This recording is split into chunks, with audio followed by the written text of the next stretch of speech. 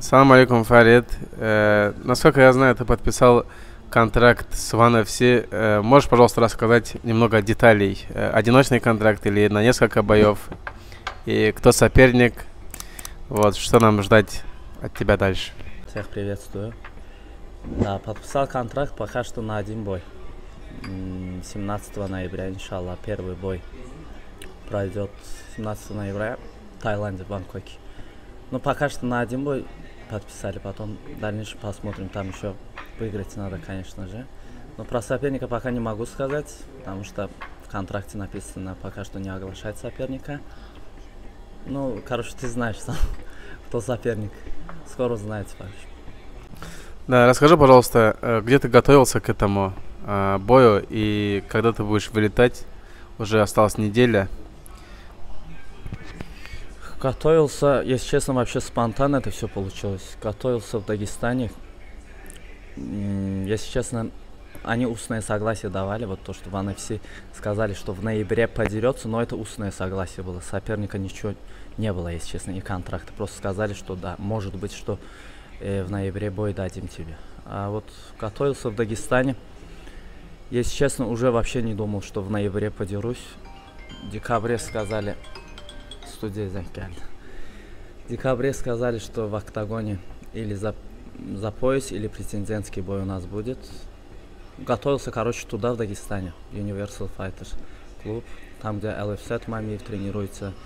Э, Магерам там у нас тренировался, готовился, к сожалению, травмировался. Мехман готовился там же. Сейчас Роял до сих пор там готовится, тоже будет выступать. В общем, тренировка тоже четкая была, сбор хорошо прошли, хорошо себя чувствую.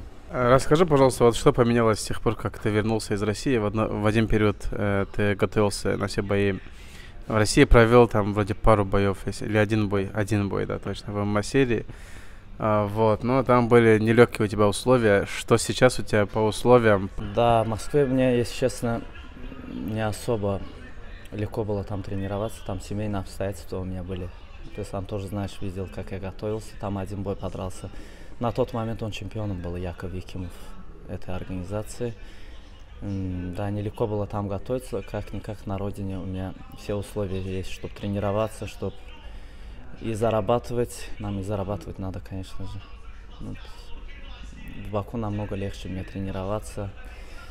И тут все друг друга знают. Любой зал можешь уверенно сходить, там тебе помогут. Насчет боев, если скажешь, что у тебя бой, конечно, все помогут. Вот из-за этого вернулся здесь. Здесь намного лучше. И вот Джават, спасибо Джаваду, Джаванширу. Они тоже помогли, Файку. Ну, короче, много кто помог, не буду сейчас по одному оглашать. Рамиль Мялим, кстати, тоже помогал очень сильно. Да, Фарид, у тебя был нелегкий период, да, э, ты не мог получать бои. Сейчас у тебя с этим проблем вроде бы нет. За год где-то ты провел два поединка, один в октагоне, один э, в Узбекистане, да, у Мурадова. Э, вот, скажи, пожалуйста, почему так сменили вектор резко э, до One FC? Да, если честно, после России у меня еще, я как только приехал, через два дня я травмировал колено, у меня я связки порвал. Там 6-7 месяцев я выбыл конкретно почти. Э, на тот период я один бой провел в Воронеже, тогда, ну, когда в Москве был. Я в ММА серии там один бой провел, после этого у меня застой был где-то больше года. Да, и первый бой После этого у меня был в FFG, в Азербайджане я подрался в этой организации, чтобы не застаиваться. На тот момент только там э, предложили мне подраться. После этого я подрался в Узбекистане, в МПЛ выиграл и в октагоне. И после этого уже посыпались у меня предложения. И довольно так. И с октагона также, и с Мурадова предлагали бои. Но, если честно, ждали хороший вариант. Нам очень хорошие условия предлагали и в октагоне, и в МПЛ. Просто мы выбрали более оптимальный вариант. Опять же, если честно, там тоже подрался, мне без разницы.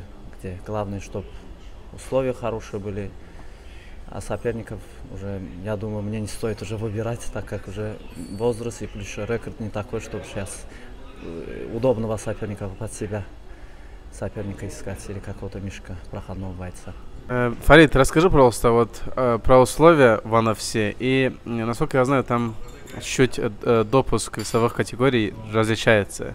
И э, там следят за использованием всяких капельниц, э, ну, путем восстановления, скажем так. Э, какие вот тебе ограничения поставили, что можно сделать, что нельзя сделать, какой у тебя там допуск по весам? Про ограничения, если честно, там капельницы, не капельницы, ничего не сказали, но если не ошибаюсь, я контракт пока, пока что не до конца прочитал. Сейчас, надеюсь, Джават прочитает, это мне все расскажет. Э, пока что по капельницам, по витаминизации, да, по витаминизации пока что ничего не знаем, там, что можно, что нельзя вообще. Допускается ли там капельница. Вроде бы я спрашивал, у нас Амбар там выступал, Ван Варирс. Ну, это, в принципе, одно и то же. Там а, одни и те же условия, регламент одинаковый. Вроде бы он сказал, что капельницы разрешаются. И там допуск много гонять, короче, не разрешают. Там, по-моему, какой-то допуск имеется или 5, или 6 килограммов, если не ошибаюсь. Там, короче, по контракту указано там flyweight. Flyweight, как мы знаем, 57 килограммов, но гоняешь там на 61. Ну, по бумажке там flyweight написано. Допуски есть там где-то 5 килограмм, 5-6 килограмм. Расскажи, пожалуйста, о сопернике, как он работает, что он делает. И, в принципе, про подготовку было бы интересно послушать.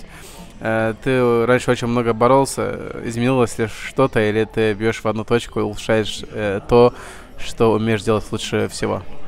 Да, я базовый, как вы знаете, грэплер. Не грэплер, но, короче, борюсь больше. Ну, конечно же, я когда в Дагестане был, я и на стойку ходил, и борол. Там, конечно, акцент делают больше на борьбу, там работал в стенке, все такое. Особенно в клубе Universal Fighters. Там в основном работает у стенки.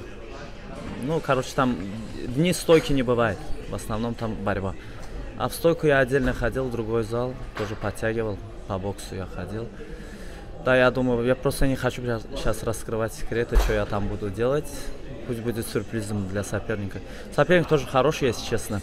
Не буду называть его имя, но он универсал, так скажем. Сказать, что прям сильный борец или греплер невозможно. Ну, короче, и в стойке есть у него чем удивить, и в борьбе есть всего понемногу. Но я думаю, у меня лучше пошла подготовка.